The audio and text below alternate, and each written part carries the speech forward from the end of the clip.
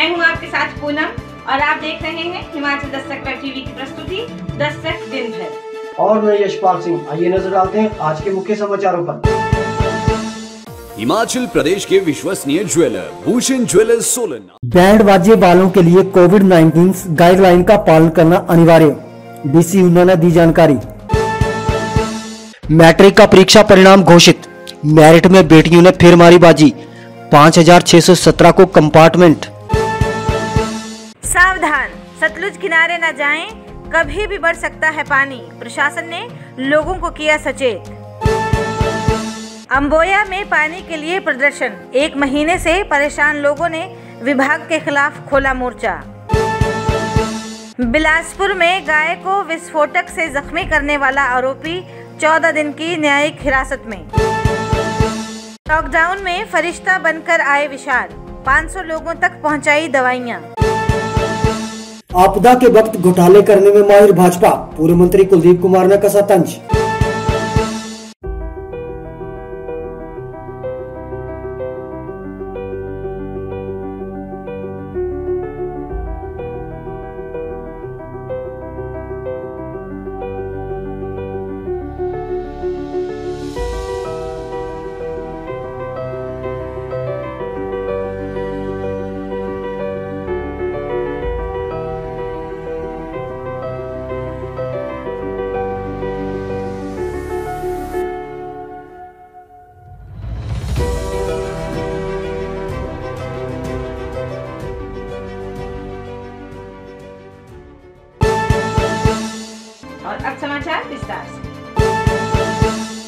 विवाह समारोह में शामिल होने वाले बैंड बाजे वालों के लिए नई गाइडलाइन जारी कर दी गई है।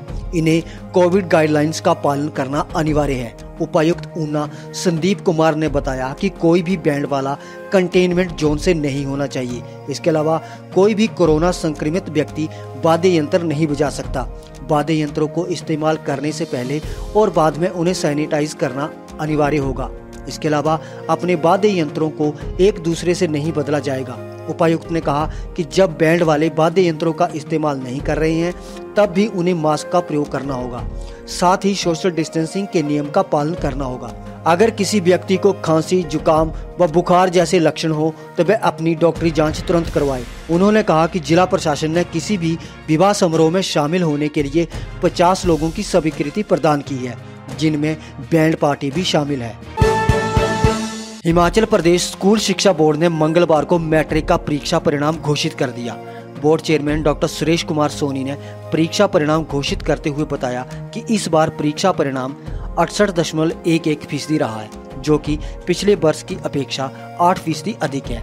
मैट्रिक की मेरिट में लड़कियों ने एक बार फिर से दबदबा बनाया है। मेरिट के पहले 10 स्थानों पर सैंतीस छात्रों ने जगह बनाई है, जिनमें से 23 लड़कियाँ और 14 लड़के शामिल हैं। मैट्रिक की परीक्षा में एक लाख चार हज़ार तीन सौ तेईस छात्र बैठे थे, जिनमें से सत्तर हज़ार पाँच सौ इकहत्तर छात्र पास हुए हैं, जबकि पाँच हज़ार छह सौ सत्रह छात्रों को कंपार्टमेंट आई है। प्रदेश शिक्षा बोर्ड धर्मशाला द्वारा आज प्रदेश के एक लाख से अधिक दसवीं कक्षा के विद्यार्थियों का परीक्षा परिणाम घोषित किया गया है। मैं सभी उत्तीर्ण विद्यार्थियों को बहुत बहुत बधाई देता हूँ। साथ ही मैं हिमाचल प्रदेश शिक्षा बोर्ड के अध्यक्ष डॉक्टर एस के सोनी और उनकी पूरी टीम को भी बधाई देता हूँ, जिन्होंने अपने निकटवर्ती प्रदेशों के मुकाबले पर हिमाचल प्रदेश में रिकॉर्ड टाइम में पूरे पेपर्स का एग्ज़ाम लेने के बाद परिणाम घोषित किए हैं। इस वर्ष परीक्षा परिणाम 68 परसेंट से अधिक रहा है और सैंतीस विद्यार्थियों ने टॉप टेन स्थान पर जो है मेरिट में नाम हासिल किया है। और उससे भी बढ़कर प्रसन्नता इस बात की है कि सैंतीस विद्यार्थियों में से तेईस विद्यार्थी छात्राएँ हैं चौदह छात्र हैं। सावधान सतलुज किनारे न जाएँ, कभी भी बढ़ सकता है जल स्तर जी हाँ झाकड़ी विद्युत परियोजना के नाथवा बाँध से कभी भी पानी छोड़ा जा सकता है जिससे इस क्षेत्र में सतलुज नदी में पानी का स्तर बढ़ सकता है। इसके चलते प्रशासन ने लोगों से नदी किनारे न जाने की अपील की है। तहसीलदार रामपुर विपिन ठाकुर ने बताया कि एस प्रशासन ने सूचना दी है कि बीते दिनों भारी वर्षा से बाँध में पानी का स्तर बढ़ गया है जिसके कारण बाँध से पानी को छोड़ा जाना ज़रूरी है। उन्होंने लोगों से आग्रह किया कि वे नदी के किनारे ना जाएँ, कभी भी सतलुज का जलस्तर बढ़ सकता है।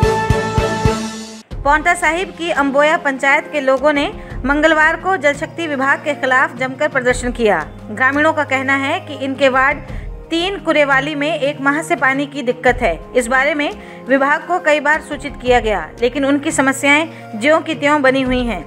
महिलाओं ने कहा कि उनको एक किलोमीटर दूर से पानी लाना पड़ रहा है। गुस्साई महिलाओं ने चेतावनी दी कि यदि दो दिन के भीतर पानी की सप्लाई सुचारू नहीं हुई तो वे सहायक अभियंता पुरवाला के कार्यालय का घेराव करेंगी। वहीं आईपीएच विभाग के एक्सीएन जे एस वर्मा ने बताया कि उनके संज्ञान में ये मामला नहीं है। अगर ऐसी दिक्कत है तो एसडीओ को कहकर तुरंत पानी की सप्लाई बहाल करवाई जाएगी। बीस पच्चीस दिन से नहीं आ रहा है।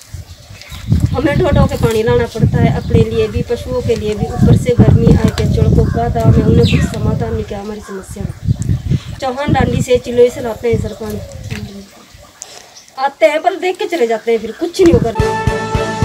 बिलासपुर के ग्राम पंचायत डाहड में 25 मई को गाय के जबड़े को विस्फोटक से उड़ा देने वाले आरोपी नंदलाल को मंगलवार को अदालत में पेश किया गया। अदालत ने उसे 14 दिन की न्यायिक हिरासत में भेज दिया। उधर डीएसपी मुख्यालय संजय शर्मा ने खबर की पुष्टि की है। गौर हो, ये मामला 25 मई को पेश आया था। केरल में हथनी के मामला सामने आते ही बिलासपुर का वीडियो भी सोशल मीडिया पर वायरल हो गया। वीडियो वायरल होते सीएम ने कार्रवाई करने के निर्देश दिए थे।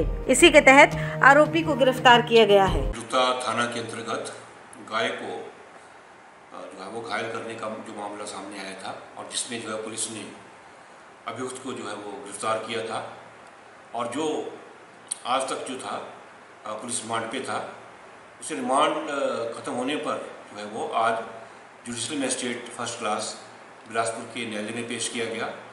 जहाँ अदालत ने जो है वो, अभियुक्त को जो है वो चौदह दिन की न्यायिक हिरासत बाईस जून तक जो है वो न्यायिक हिरासत में भेज दिया है। पिता समाज सेवी हैं, धार्मिक हैं, और बेटे ने भी पिता के पद चिन्हों पर चलते हुए समाज सेवा की भावना के साथ लॉकडाउन व कर्फ्यू में काम किया और जिला ऊना में 500 जरूरतमंद परिवारों तक दवाई निशुल्क पहुँचाने का काम किया। विशाल हरोली के चांदपुर गाँव के रहने वाले हैं और दिल्ली में काम करते हैं। लेकिन लॉकडाउन के बीच जब वे ऊना में फंस गए तो उन्होंने हिम्मत दिखाते हुए प्रशासन से लोगों की मदद के लिए उपस्थित रहने की बात कही, जिसके बाद वे तहसीलदार ऊना विजय राय के संपर्क में रहे और ज़रूरतमंदों तक दवाइयाँ पहुँचाने का काम किया। इस दौरान विशाल शांडिल्य ने करीब तेरह हज़ार किलोमीटर गाड़ी घुमाई तो वहीं घर घर जाकर दवाइयाँ भी दी। विशाल के इस कार्य की डीसी संदीप कुमार ने तारीफ़ की है। उन्होंने कहा कि विशाल एक कोरोना योद्धा हैं जिन्होंने काफ़ी मदद की है। आ, इस कोरोना काल के संकट के दौरान लगभग साढ़े चार सौ पाँच सौ लोगों को दवाइयाँ दी गई हैं जिसका सबमिशन मैंने आज डीसी साहब को दिया है। इस दौरान ऊना डिस्ट्रिक्ट के अंदर हमने धौलपुर चिंतपूर्णी गगरेट अम्ब और इधर से रायपुर मैदान, बंगाणा, दुलेड, सारे जितने एरियाज़ कवर हो सकते हैं टोटल के अंदर हमने ए टू जेड घरों में सप्लाई दी पूर्व उद्योग मंत्री कुलदीप कुमार ने सत्तारूढ़ भाजपा पर तीखा हमला करते हुए इसे भ्रष्ट जनता पार्टी की संज्ञा दी है। उन्होंने कहा कि जब जब देश विपत्ति से गिरा है और भाजपा को शासन करने का मौका मिला है, उस समय भ्रष्टाचार के कई मामले उजागर हुए हैं।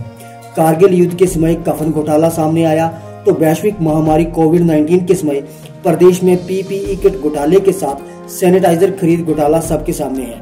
उन्होंने कहा कि इन मामलों की जाँच को अधिकारियों तक सीमित करके प्रदेश सरकार अपनी ज़िम्मेदारी से पीछे नहीं हट सकती। उन्होंने इन घोटालों की जाँच हाई कोर्ट के सिटिंग जज से करवाने की मांग की है।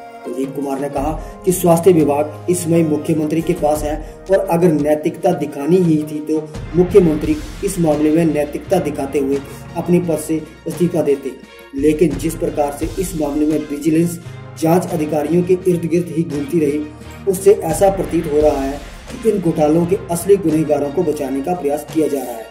उन्होंने कहा कि प्रदेश में हुए घोटालों पर कांग्रेस चुप नहीं बैठेगी और जब तक प्रदेश सरकार इसकी जाँच हाई कोर्ट के सिटिंग जज से करवाने के आदेश नहीं देती तब तक कांग्रेस प्रदेश सरकार के खिलाफ मोर्चे पर डटी रहेगी। आज के लिए बस इतना ही। घर पर रहें सुरक्षित रहें। और देखते रहें आपका अपना वेब टीवी हिमाचल दस्तक दिल से दिमाग तक। शुभ रात्रि।